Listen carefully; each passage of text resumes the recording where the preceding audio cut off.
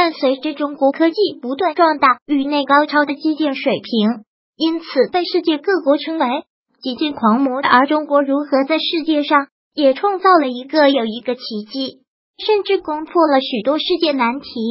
这不，如今中国将要启动一个世界级工程。不过，当中国说要做这个工程的时候，却有一些印度专家站出来坦言，中国无法完成。这到底是怎么样的一个工程呢？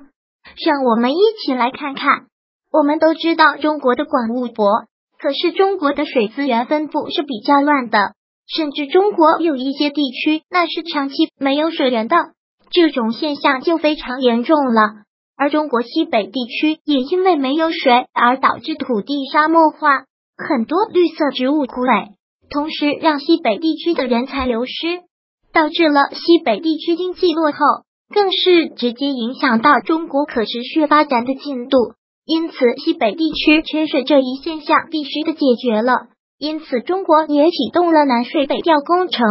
可是，这个工程并不能长期依赖，只是暂时性的解决问题。不过，为了将这个问题彻底解决了，中国在完成了的南水北调工程之外，又开启了一个工程。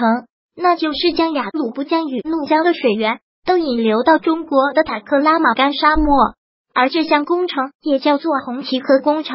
这条大河的的长度可以说完全超过了长江，而且雅鲁布江地区地势险恶，再加上青藏高原的恶劣环境，导致这些工程难度非常巨大。